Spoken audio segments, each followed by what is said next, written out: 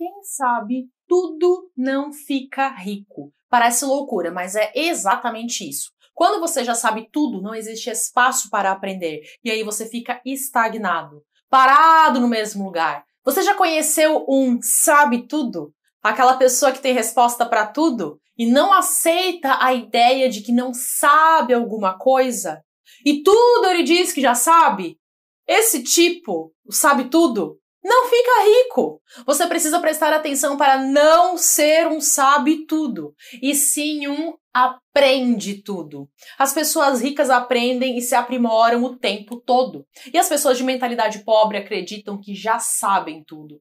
No livro Segredos da Mente Milionária, o autor menciona aquilo que ele chama de as três palavras mais perigosas. São elas: eu já sei, e como é que você sabe que você sabe de verdade alguma coisa? É simples. Se você a vivencia, você sabe sobre ela. Do contrário, você apenas ouviu falar ou leu a respeito mas não sabe de verdade. É provável que você ainda tenha muito a aprender em relação a dinheiro, sucesso e vida. O autor do livro conta que, em sua época de vacas magras, ele teve a sorte de receber o conselho de um amigo que era milionário. Esse amigo disse: se as coisas não estão indo como você gostaria, isso quer dizer apenas que há algo que você não sabe.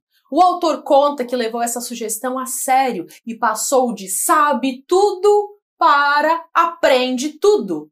Daquele momento em diante, a sua vida mudou completamente. Eu sou Cíntia Brunelli e esse vídeo aqui faz parte de uma série sobre o livro Segredos da Mente Milionária, para você que quer crescer e prosperar. Então eu te convido a se inscrever no canal para não perder o próximo vídeo dessa sequência, que também está fantástico.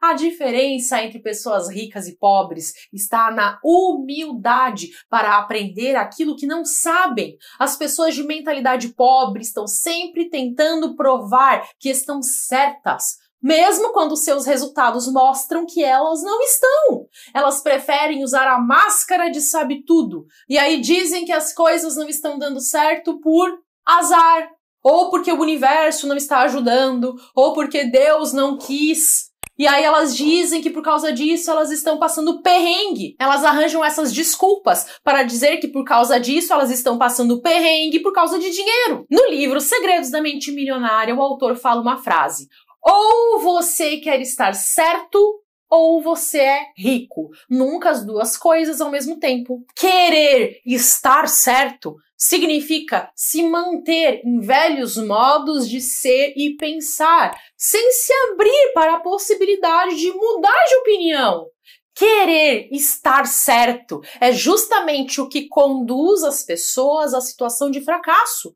Essa filosofia também se aplica à felicidade, no sentido de que ou você quer estar certo ou você é feliz. O fato é que se você, nesse momento, não é rico ou não é feliz, não adianta dizer que você tem certeza sobre a forma como deve fazer para conseguir isso os seus resultados dizem o oposto. Se você fizer o que você sempre fez, você vai continuar conseguindo o que sempre conseguiu. O seu jeito você já conhece.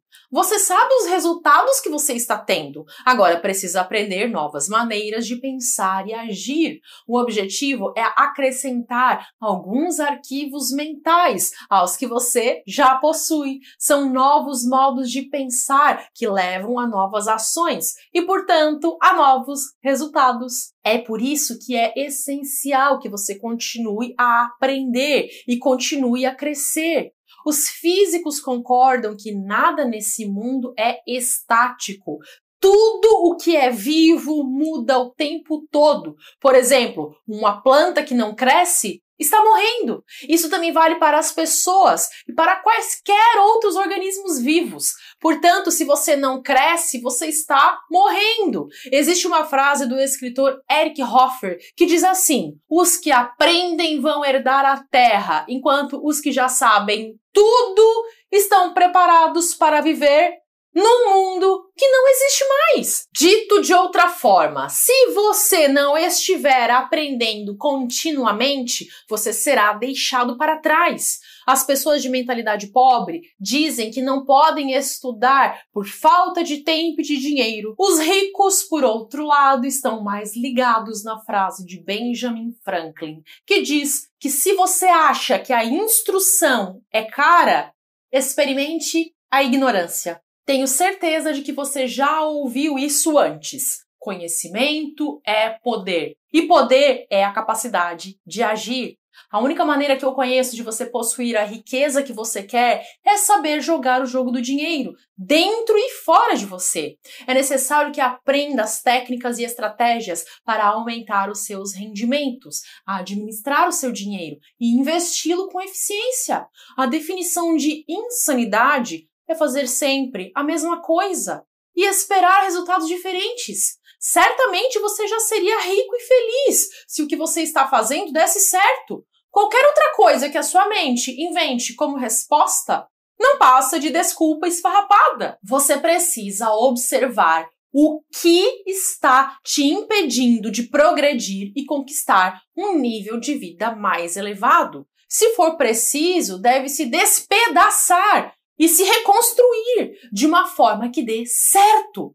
Fazer tudo o que estiver ao alcance para se tornar 10 vezes mais feliz e 100 vezes mais rico. Caso você deseje subir mais rápido, você está no lugar certo e podemos prosseguir. Sucesso é algo que se aprende. Podemos aprender a vencer em qualquer coisa. Nas aulas do treinamento Mestres do Universo, eu explico que você deve unir a lei da atração a Ação! De nada adianta saber tudo de lei da atração se você não coloca a mão na massa. Não adianta ficar o dia inteiro só fazendo exercícios de visualização, de mentalização da lei da atração, porque isso não vai fazer um saco de dinheiro cair do céu na sua cabeça. Você precisa agir e você pode aprender tudo que você quiser. Se você quer ser um jogador de golfe, você pode aprender a fazer isso. Se você quer ser um pianista, você pode aprender a tocar piano. E se você deseja ser verdadeiramente feliz, você também tem condições de aprender a ser assim. Se você quer enriquecer,